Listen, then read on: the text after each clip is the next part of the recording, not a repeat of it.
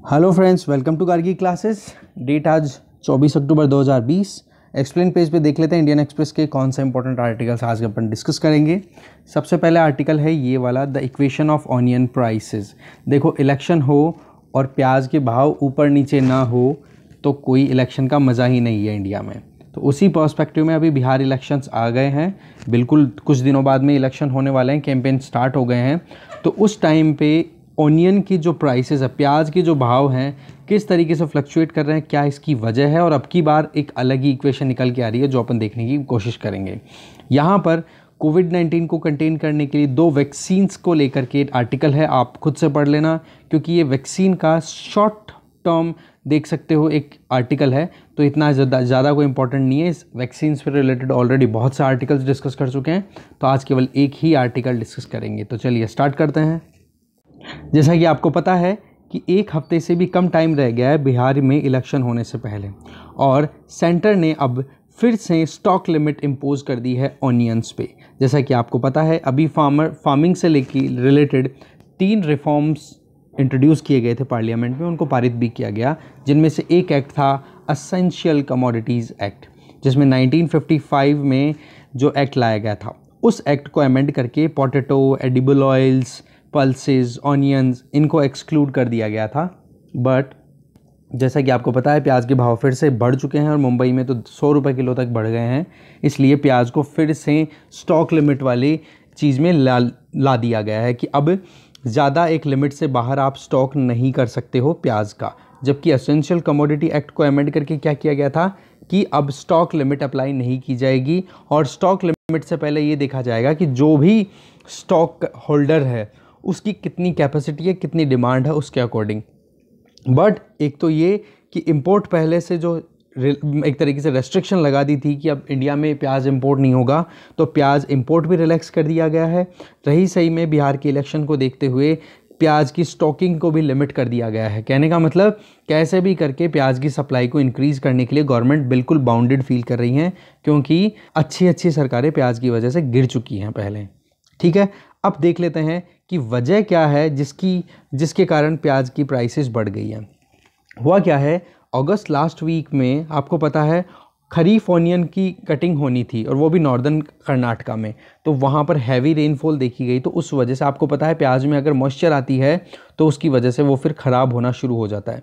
तो आप प्रॉपरली देखोगे इंडिया में तो तीन सीज़न में हमारे यहाँ पर प्याज की क्रॉपिंग होती है। एक तो खरीफ ठीक है, जो कि जून, जुलाई में सोविंग हो जाती है और कटिंग हो जाती है। उसकी अक्टूबर लास्ट में जो अभी हो जानी थी। दूसरी होती है खरीफ के टाइम पे। दूसरी खरीफ लेट खरीफ, एक तो अर्ली खरीफ हो गई, अब लेट खरीफ, जिसमें सितंबर में सोविंग हो जाएगी तो दिसंबर लास्ट में जाते जाते हार्वेस्टिंग हो जाती है। इसी तरीके से रबी की सीज़न जिसमें दिसंबर जनवरी में सोविंग हो जाती है तो मार्च के टाइम पे एक हार्वेस्टिंग हो जाती है। तो कहने का मतलब तीन सीज़न हमारे यहाँ पे प्याज की होती है। तो आप देख सकते हो कि अभी जो अक्टूबर में हार्वेस्ट जो होना था, जो अभी एंड ऑफ़ अक्टूबर चल रहा है, वो कहीं ना कहीं डिसरप्शन में आ गया। रीज़न भी कि नॉर्दर्न कर्नाटका में रेनफॉल ज़्यादा होना और महाराष्ट्र में जिन लोगों ने स्टॉकिंग की थी ऑनियन की, उनकी स्टॉक में पड़े हुए प्याज खराब हो जाना। क्योंकि मॉइस्चर की वजह से प्याज जल्दी ख़राब होता है। इसके अलावा आप मध्य प्रदेश, गुजरात वाले रीजन में भी देखोगे तो वहाँ पर भी जो मार्केटेबल ऑनियंस थे ना, जिनको स्टॉक में रख रखा था कि चलो ठीक है आप मार्केट में जाके बेच देंगे, वहाँ पर आप देखोगे ख़राबी ज़्यादा हो गई। यूजुअली देखा जाता है कि 30 से 40 परसेंट तक ही जितना स्टॉक किया गया, उसका ख़राब होता है प्याज। अब की बार 50 टू 60 परसेंट प्याज ख़राब हो गया तो इसकी वजह से आप भाव देखो चारों मेट्रो सिटीज़ में कितनी ज़्यादा है? 58, 97, 83, 80 बहुत महँगा हो गया है। तो इसमें पहली वजह तो आपको क्लियर हो गई कि ज़्यादा रेनफॉल होने की वजह से प्याज में मॉइस्चर की वजह से ख़राबी हो गई। दूसरा क्या हुआ कि लास्ट ईयर ऑनियन की प्राइस अच्छी खासी थी। तो इस वजह से किसानों को ये लगा कि अब की बार प्याज की अगर प्रोडक्शन अच्छी होगी तो ज़्यादा फ़ायदा उठा लेंगे। तो उन्होंने यूरिया ज़्यादा डाल दिया खाद के लिए ठीक है? जो केमिकल फर्टिलाइज़र होता है। तो उसकी वजह से यील्ड तो बढ़ गई बट ऑनियन की जो शेल्फ लाइफ होती है ना, खुद की लाइफ वो घट गई।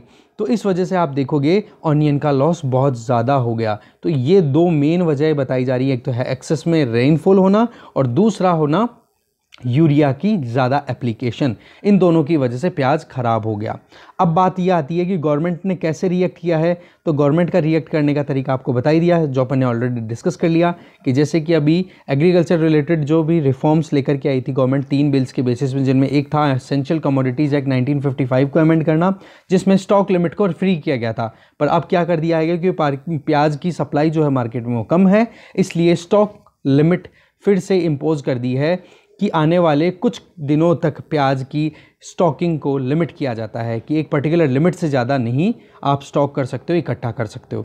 दूसरा गवर्नमेंट ने जो इंपोर्ट किया जाता है प्याज फॉर से फॉर एग्ज़ाम्पल हमारे यहाँ पर ईरान से प्याज इंपोर्ट किया जाता है। तो ईरान से प्याज आने पर आ, आते आते और मार्केट में जब पहुँचता है तो लगभग लगभग उसके भाव हो जाते हैं लगभग 45 40 टू 45 रुपीज़ पर किलोग्राम हो जाते हैं। तो उस भाव को कैसे कंट्रोल किया जाए? क्योंकि अभी तो 100 kilogram hundred rupees per kilogram चल रहा है ना तो उसके कंपैरिजन में अगर 40 से 45 किलो रुपीज़ पर किलोग्राम के हिसाब से भी चले तो भी एक बार तो काम चल जाएगा। तो कहने का मतलब इम्पोर्ट को रिलैक्स कर दिया और साथ में जो स्टॉक लिमिट है, वो इम्पोज कर दी कि कैसे भी करके मार्केट में जो है प्याज की सप्लाई इंक्रीज़ हो। वो बात अलग है कि ईरान के प्याज में जो एक तीखापन होना चाहिए। ठीक है, वो कम होता है बट फिर भी वही बात है कि कैसे भी करके प्याज की सप्लाई इंश्योर की जा सके। रही सही में ईरान से आने वाले प्याज की डिमांड ज़्यादा होती है होटल इंडस्ट्री में। अब होटल्स का आपको पता है ऑलरेडी कोविड नाइन्टीन की वजह से कहीं ना कहीं कॉलेब्सड हैं। होटल अभी काम में आ नहीं रही है तो उधर भी डिमांड नहीं है। तो कहने का मतलब मार्केट की डिमांड को पूरा करने के लिए इम्पोर्ट जो कहीं ना कहीं हेल्प कर देगा। तो आप ये देख सकते हो कि प्याज का क्या सीज़न है, किस तरीके से चलता है, ये अपने डिटेल में देख लिया है। हमारे यहाँ पर तीन सीज़न में प्याज उगाया जाता है। अलग अलग रीजन्स में महाराष्ट्र वाला जो प्याज होता है, वो अक्टूबर के टाइम पे आता है और नॉर्दर्न कर्नाटका वाला प्याज जो है, वो अक्टूबर के टाइम पे आता है, जो यहाँ पर अपन ने देखा। वो कहीं ना कहीं अगस्त में एक्सेस हैवी रेनफॉल की वजह से ख़राब हो गया। ठीक है? तो इस तरीके से ये पूरी इक्वेशन थी जो मैंने आपको समझा दी है। आई होप आपको इतनी शॉर्टकट में समझ में आई होगी। मैंने पूरा एक समरी दे दी है। अब बाकी जो चीज़ें हैं, वो कहीं ना कहीं माइन्यूट डिटेल्स हैं, वो इतने काम की नहीं है। तो उसको आप देखना चाहो तो देख लो, ना देखो तो कोई प्रॉब्लम नहीं है। एक मोटी मोटी चीज़ मैंने आपको समझा दी है। ठीक है? तो चलिए थैंक यू